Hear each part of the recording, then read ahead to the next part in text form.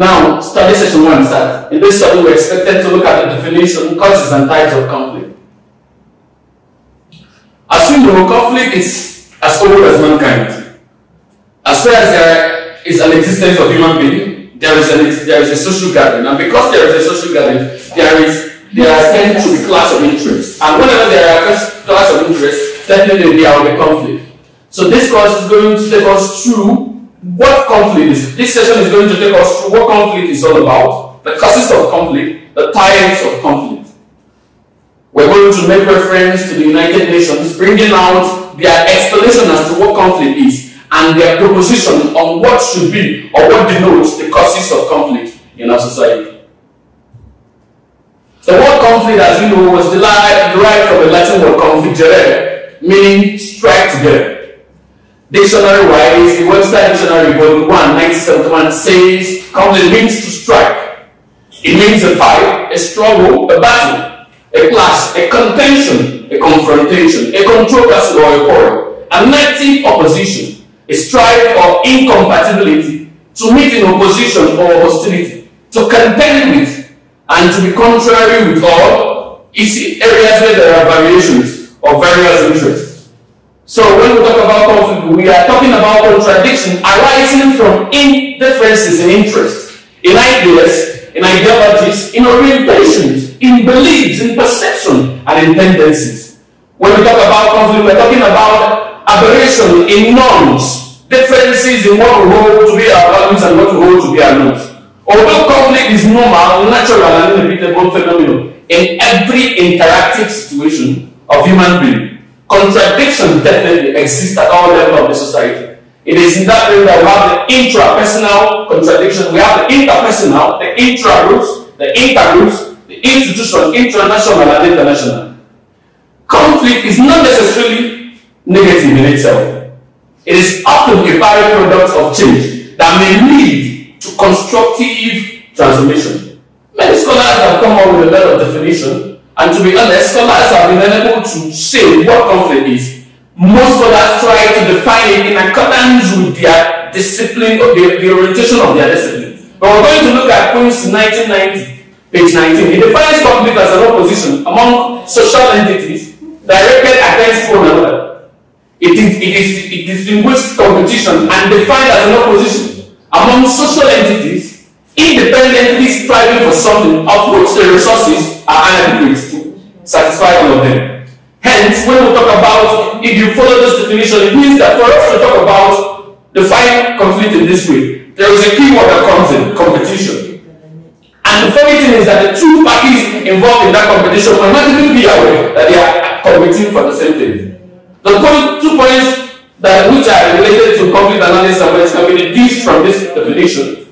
One is contrary to the old which regards conflict as national. It is also it to our, our, our knowledge that conflict is something that is inevitable and competition can be so regarded, so also inevitable. Many factors or conditions relate to conflict. A lot of scholars have, have proposed what would be the causes of conflict. But we're going to look at few factors. We're going to look at few causes here. Generally, conflict causes when there is feeling of deliberate frustration, Hence, the reason we're going to, in the theoretical analysis, we're going to bring in the frustration aggression theory. This occurs when party, especially the dominant party, decides to subjugate and intimidate another party. Conflict occurs everywhere there are human beings. In school, for instance, there is always conflict between the authorities and the students. Hence, the reason where we get students going on rampage and students, students going on riot in the school. Especially when issues of high school fees electricity, removal of subsidy, and when their demands are ignored. Another thing that can cause conflict is also injustice. When we make reference to what is happening in Nigeria today, the issue of separatist agitation between the Nigerian government and the IPOB, the Biafran region, also the one we have in the West, the Omodu separatist group. All these are claims and counterclaims of being marginalized or injustice meted on them.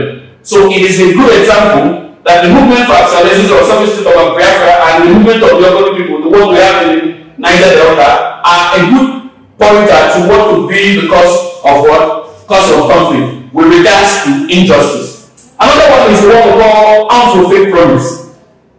An example of that is the current or the consistent uh, conflict between the Nigerian government and the ASUU. The ASUU has in several times, the federal government in several times have made promises to the ASUU, but unfortunately have failed to fulfill these promises, and this has led to several times crisis and conflict between the two parties. In our local areas, land and boundary adjustment is one of the factors that also bring conflict. In our areas, we have issues of such in the Ebonyi state. We also have that such issues between the Kogi state and Anambra state government. To sum up the causes of conflict, we have to categorize them into four. The first one is conflict over psychological needs. Though that kind of conflict, a conflict that has to do with personal needs. The second one is conflict involving values. When you talk about that conflict, this an example is what we see in Kano State, the Hizbah conflict where the Hizbah, the pro-Hizbahs are trying to bring a certain norm that the Christians there are against it. Another example is control conflict over resources. In short, the most contentious conflict we have in Nigeria today is the conflict over resources. Due to the mismanagement or the available of um, inadequacy or, like say, unavailability of most resources to certain people, it has generated conflict in Nigeria. Another one is conflict over inadequate information. That one could be seen as something that comes when somebody gives an information and the receiver fails to get the message the person is passing. We're going to look at types of conflict. There are many types of conflict. But the first one we're going to look at is the interpersonal conflict. This conflict is called man against man type of conflict. It is a conflict I will have against you as a person.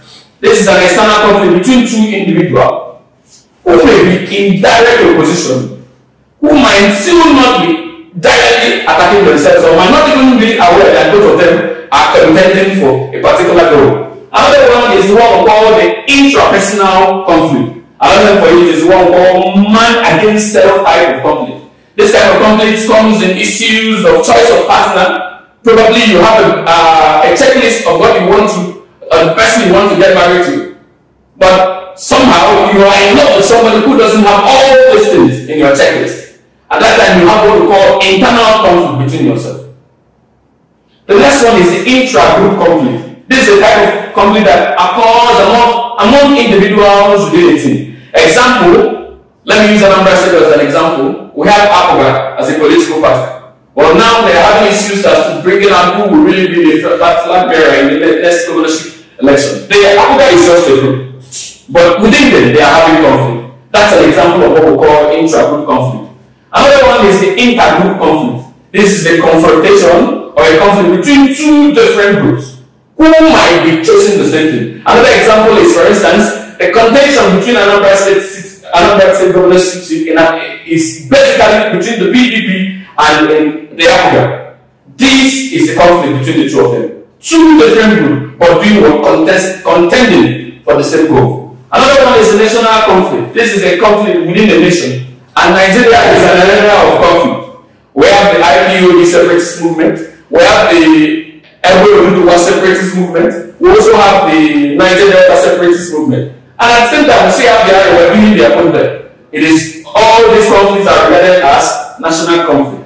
The next one is the international conflict. This involves conflict between states, two different states of the universe. An example is when Nigeria had a, a conflict between uh, Cameroon and Nigeria when they were contesting as to the true owners of the Bakassi Peninsula. In the light of the above discussion so far, we've been able to do justice to the concept of conflict. We've been able to look at the causes of conflict where we made reference to the psychological need, the conflict for resources, the conflict for uh, inadequate conflict caused due to inadequate information. A lot of them. We've also been able to look at uh, the degree and intensity of conflict and the attitudes or mode of or approaches adopted by parties involved.